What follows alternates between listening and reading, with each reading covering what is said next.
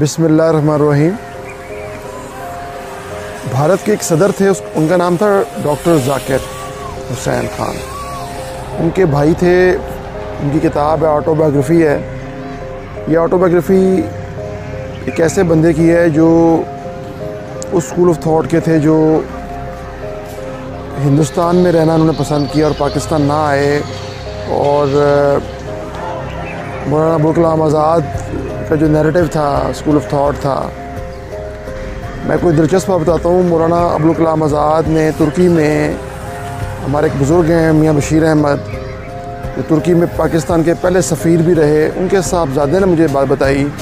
Uncle منظر نے کہ مولانا ابوالکلام آزاد نے میاں صاحب سے کہا تھا کہ میں ایک، میرا ایک نیریٹو تھا، میرا ایک نقطہ نظر تھا۔ لیکن اب پاکستان بن چکا ہے اور اب آپ کو پاکستان کو مضبوط کرنے کی ضرورت ہے اور مضبوط پاکستان جو ہے وہ بھارتی مسلمانوں کی تحفظ کی ضمانت ہے۔ یہ مجھے انکل منظر نے بتایا، اپنے والد و گرامی میاں بشیر احمد، ان کی وہ مشہور نظم ہے، ملت کا پاس پائیں محمد علی جناح اور جو قائد اعظم کے قریبی ساتھیوں میں سے رفقا میں سے ہیں۔ اور ان کے والد جو ہیں جسٹس شاہدین میاں صاحب کے اور ان کے جو سسر بھی اور ان کے انکل بھی، میاں محمد شفیع دونوں مسلم لیگ کے بانیان میں سے ہیں۔ یہ بہت ایک اہم ایک ریفرنس ہے۔ تو یعنی اس وقت وہ بھی کیا رہے تھے کہ پاکستان کو مضبوط کریں اور اس وقت پاکستان مضبوط کرنا ہی ہمارا مقصد ہونا چاہیے تھا، لیکن ہم نے بہتر سال اس بحث میں ضائع کر دیے کہ ٹو نیشن تھیوری غلط ہے ٹو نیشن تھیوری ہونی چاہیے تھی ٹو نیشن تھیوری نہیں ہونی چاہیے تھی۔ سر سید احمد خان آیا کہ صحیح تھے، غلط تھے، علامہ صاحب صحیح ہیں، غلط ہیں جنا غلط تھے یا صحیح تھے۔ حالانکہ یہ بات ختم کر دینی چاہیے، پاکستان بن چکا ہے۔